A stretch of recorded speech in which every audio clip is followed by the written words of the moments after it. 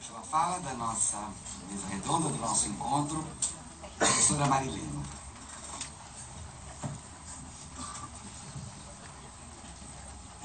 Antes, antes de começar, eu quero uh, fazer é um, é um aviso e um convite.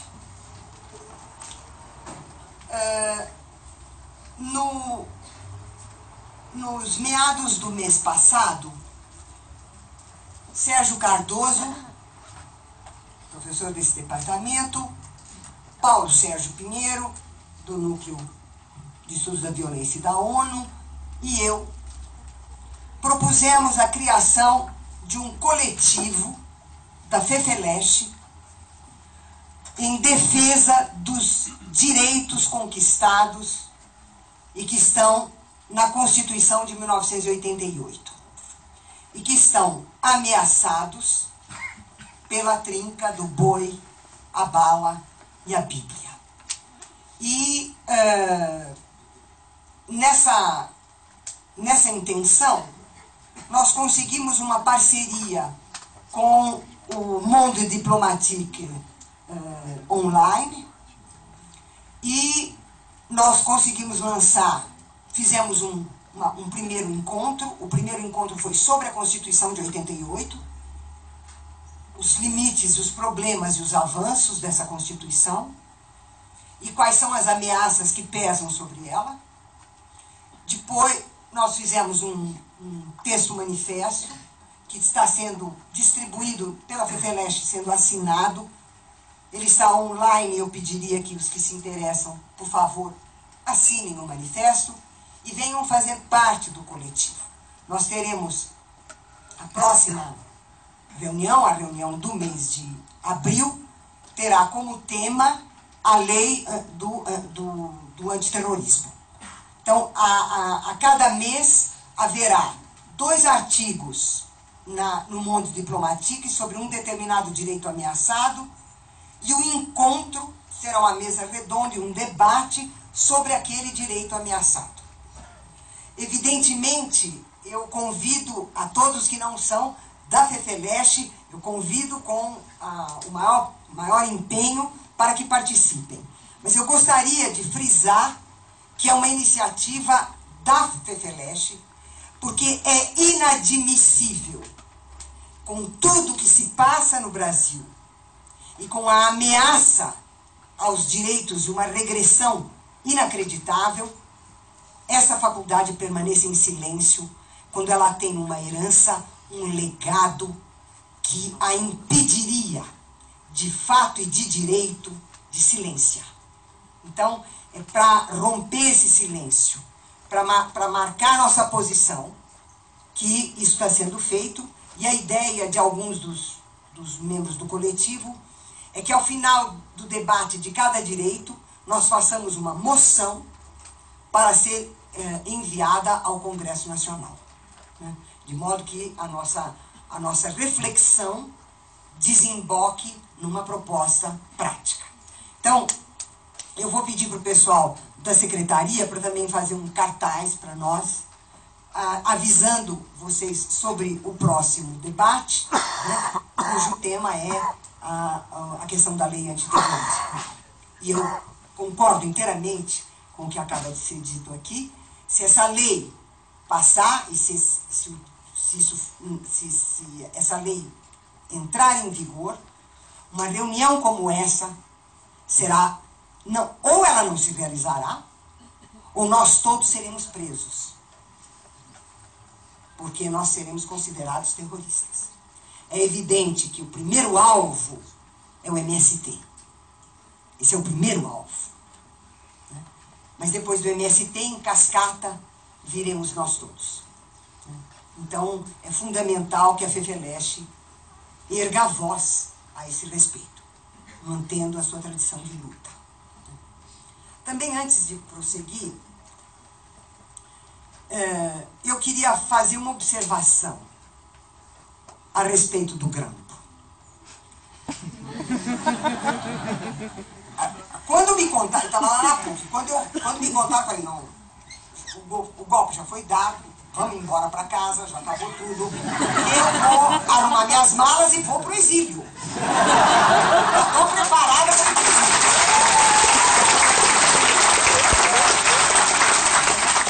Claro que depois disso eu fiquei lá e falei, né? Mas estou aqui hoje para falar também. Então, eu queria fazer uma observação a respeito do grampo, que é a seguinte. Os, os uh, jornais, as televisões, a mídia, divulgou o grampo, divulgou a fala. E se discutia se ela era ou não uma fala criminosa. E o Sérgio Moro tinha que explicar se era ou não era criminosa. A questão não é a divulgação da fala. A questão não é saber se ela é ou não é criminosa. A questão é o grampo, não podia grampear. Não pode, é contra a Constituição. É uma violação da Constituição brasileira. E, portanto, o Sérgio Moro cometeu um crime. E nós temos que condená-lo por esse crime. Como é que o juiz é agora o criminoso? Mas ninguém fala isso. Ninguém fala isso. Toda discussão é o conteúdo e a divulgação. Mas a questão não é nem o conteúdo nem a divulgação, é o ato de, de fazer o grampo. Foi por isso que quando eu soube que havia o grampo, falei, já deram o golpe, acabou. Agora eles vêm e fazem o que quiser.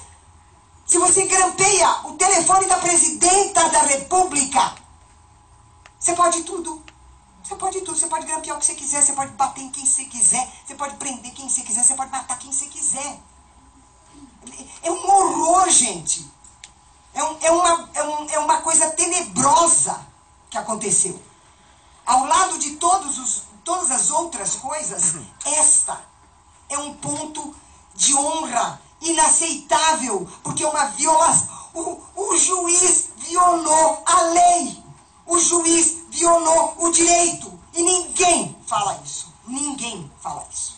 Então, é, é, a gente tem que morrer de pé, né? Então eu vou continuar gritando isso. E todos vocês que puderem gritar isso, por favor, gritem com todos os megafones que tiverem. Porque isso é inaceitável. É inaceitável. Eu queria também é, dizer a vocês que hoje de manhã eu estou com problemas elétricos lá em casa e um rapaz que meu filho gosta muito, fez serviços para ele, ele foi fazer lá o serviço de eletricidade para mim. E eu estava com a televisão ligada.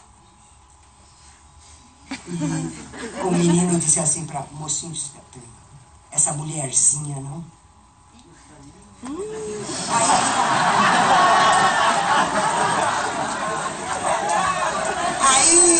pensei, três possibilidades.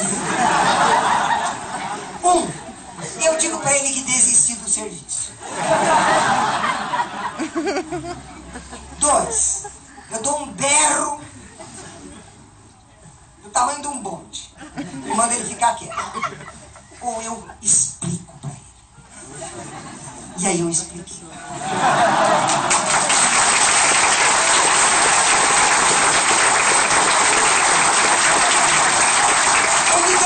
Evidentemente eu falei bem uns 15 minutos.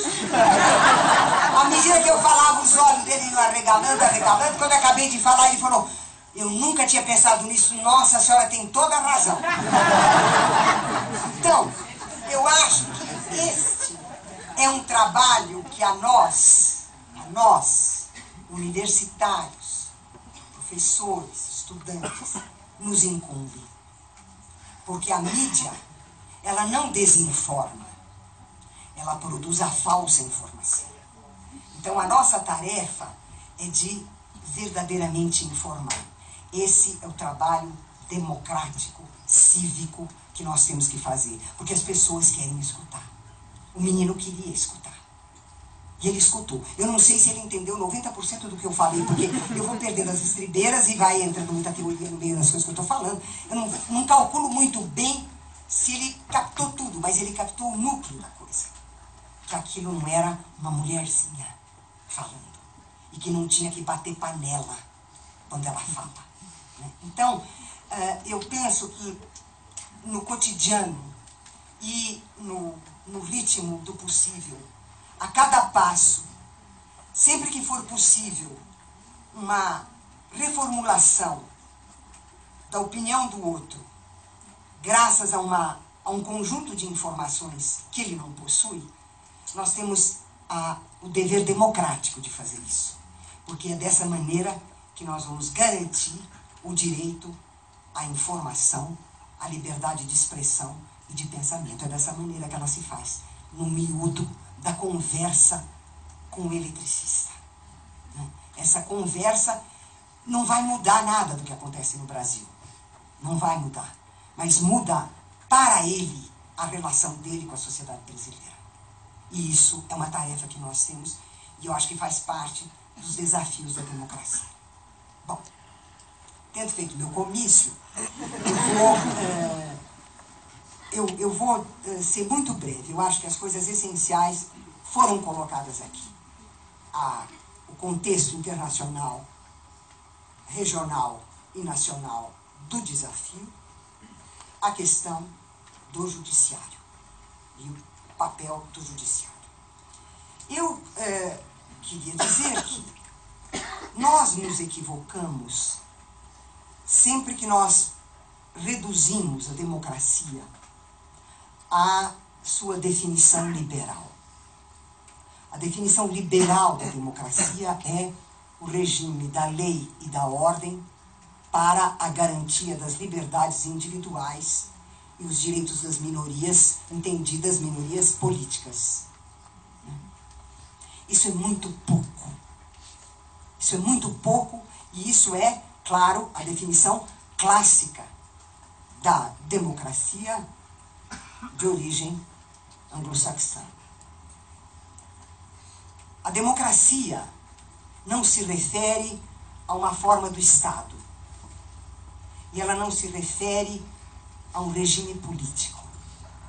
A democracia se refere à forma da sociedade. É a sociedade que precisa ser democrática. É só numa sociedade democrática que a expressão política será democrática. Você não pode ter uma sociedade oligárquica, hierárquica, autoritária, tirânica, vertical, excludente e uma política democrática. Você não pode ter isso. Então, todo, todo o nosso drama, o drama de todos os que estão à esquerda, seja a extrema esquerda, a média esquerda, a mais ou menos esquerda e esquerdinha, qualquer um de nós sabe que a democracia só pode se realizar em termos políticos se ela for a expressão da democracia social. Portanto, a igualdade não é só igualdade perante a lei. A liberdade não é só a liberdade perante a lei. A, a, a, a participação não é apenas o instante em que você vota.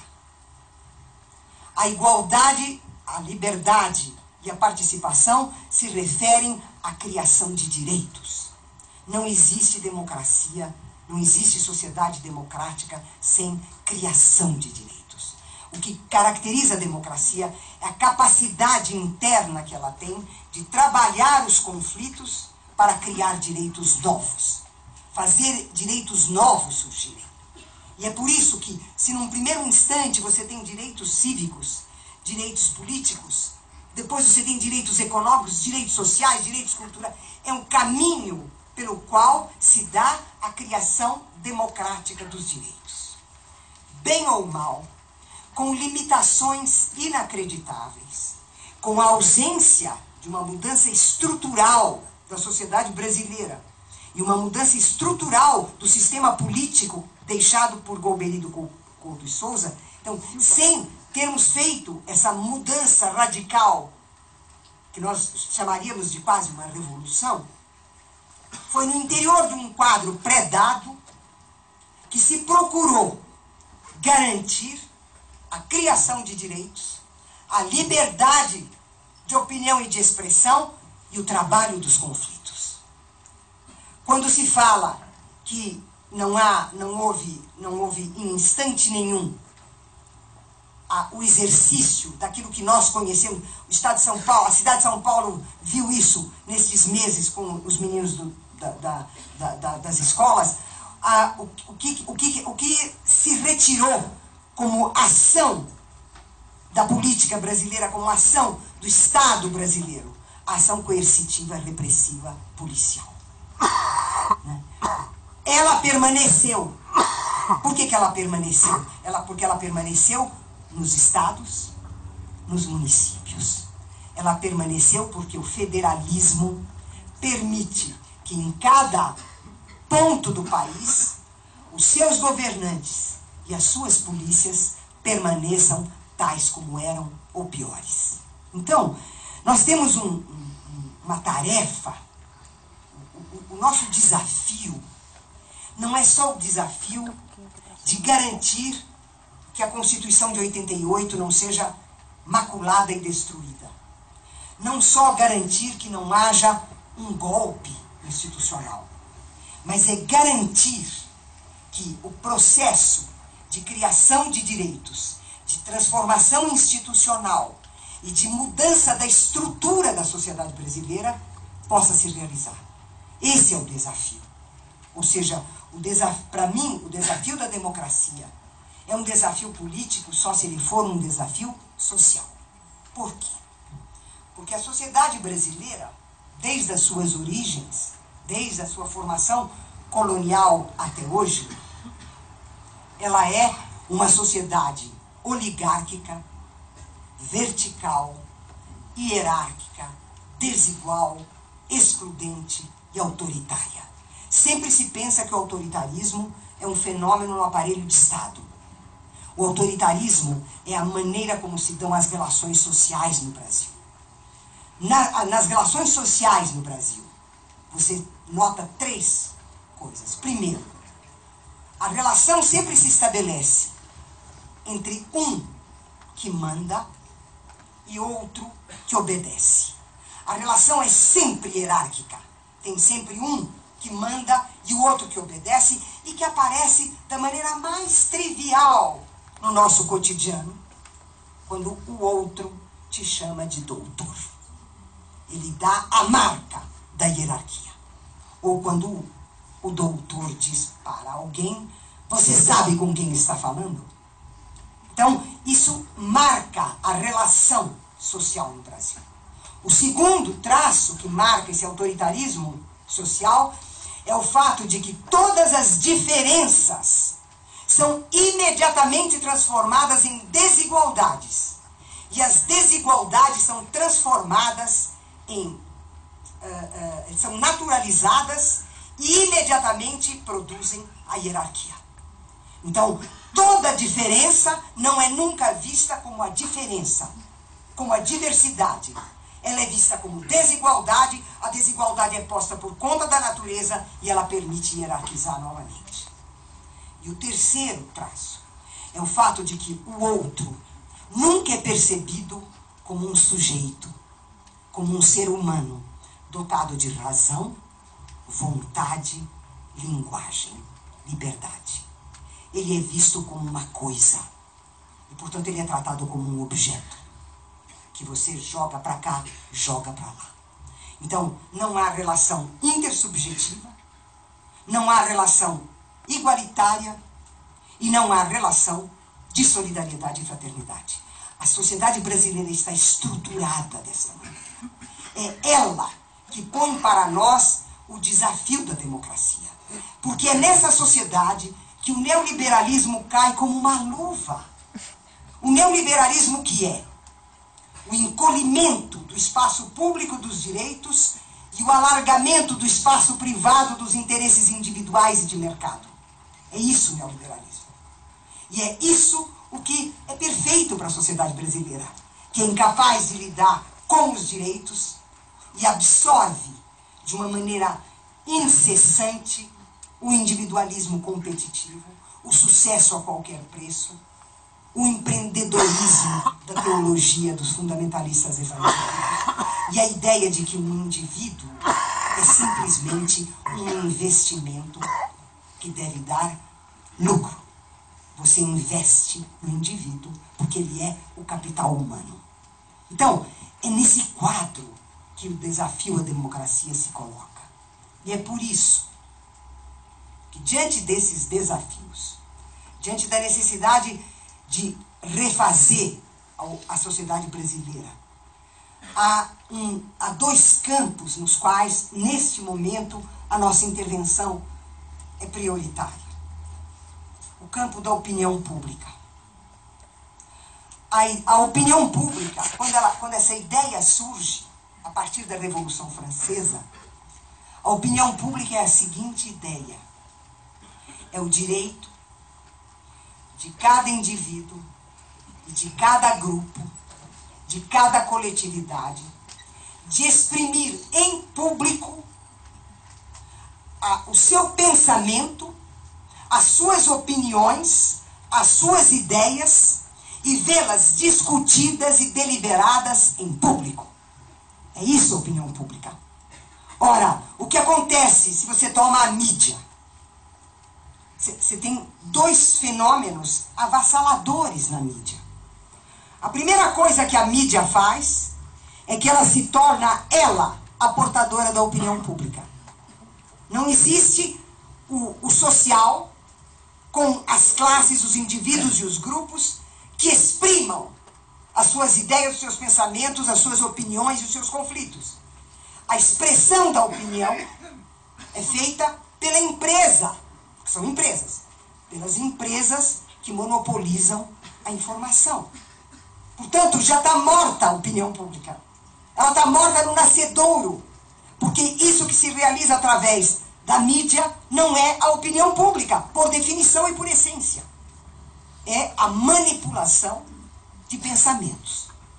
E o segundo procedimento, quando o jornalista, o repórter, vai a um acontecimento, a um, a um evento, a uma tragédia, uma enchente, uma, um, um, um terremoto, um acidente de carro,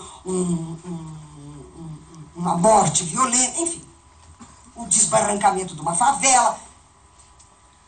O repórter pega o microfone e pergunta para os protagonistas, porque eles são protagonistas, eles são os sujeitos da ação. Ele nunca pergunta o que você pensa. Ele nunca pergunta o que você faz. Ele pergunta o que você está sentindo. Que, o que é essa pergunta? Essa pergunta significa duas coisas. Primeiro, você desqualifica o outro como protagonista da ação que ele está realizando.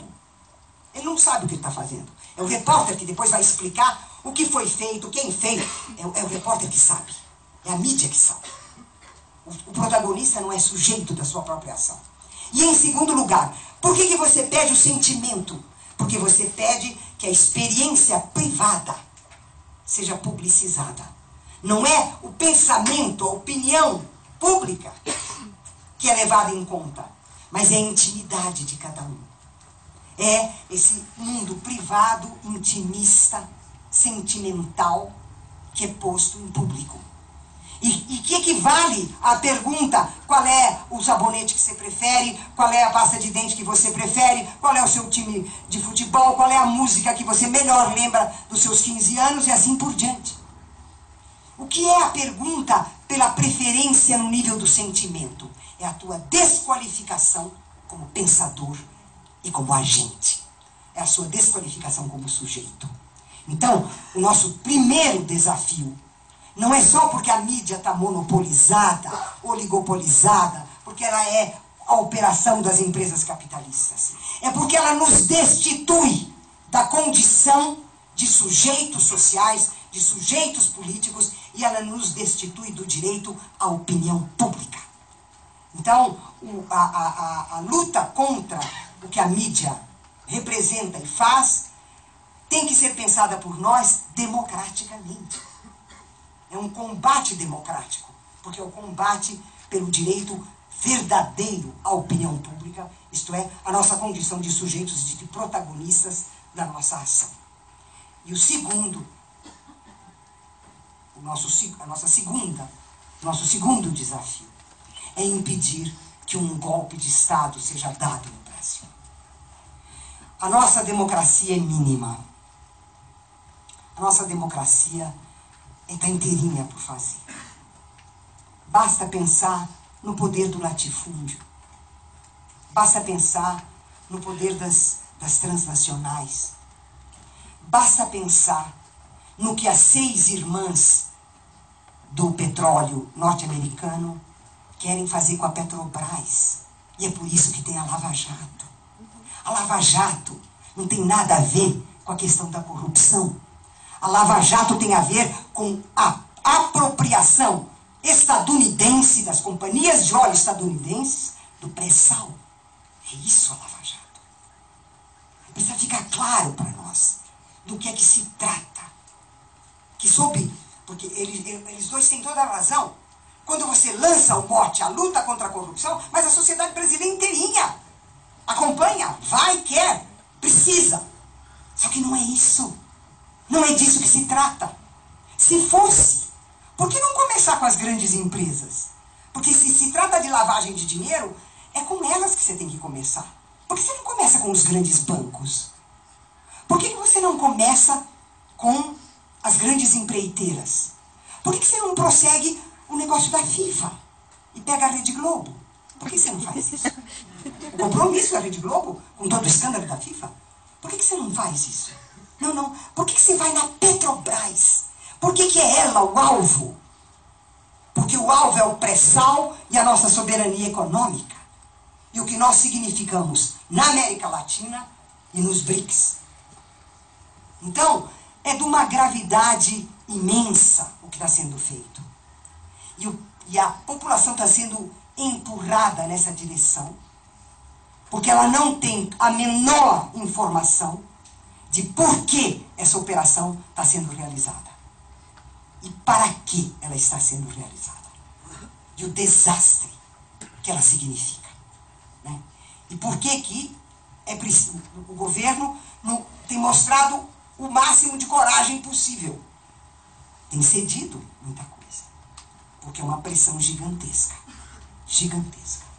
Porque as seis companhias de petróleo são aquelas que fizeram a guerra da Chechênia, a guerra da Ucrânia, a guerra Irã-Iraque, a guerra do Iraque, a guerra da Síria. Não é qualquer um. No meu amiguinho da esquina. São os caras que convulsionaram a Europa Central e por causa dos oleodutos e convulsionaram o Oriente Médio por causa do petróleo. São eles que agiram na Venezuela e estão agindo aqui. É disso que se trata. E é por isso que a luta, nossa luta política no plano democrático, é de esclarecer a população por que, que não pode haver golpe. Porque o golpe não é um golpe para tirar este ou aquele presidente. O golpe é para acabar com a nossa autonomia com relação à opressão. É disso que se trata. Se trata da infraestrutura da economia brasileira e da nossa soberania. É disso que se trata. Então nós temos uma tarefa enorme pela frente. Uma tarefa de luta. E eu costumo dizer que eu acreditei que depois de tanta luta, tanto sangue, tanta dor, tanta perda, tanto sacrifício, tanto desespero, um mínimo nós tínhamos conquistado. E que nós tínhamos um legado para deixar para as próximas gerações. Né? Eu não pensei só nos meus filhos, eu pensei nos meus netos e nos bisnetos que eu não vou ver. E está tudo por fazer outra vez. Nós não podemos permitir mais. Nós sabemos o que é a repressão. Nós sabemos o que é o terror de Estado. Nós sabemos o que é a violência. E a, o nosso desafio é lutar contra isso. Para eu luto por vocês, como eu luto pelos meus netos e pelos bisnetos que eu não verei. A luta continua.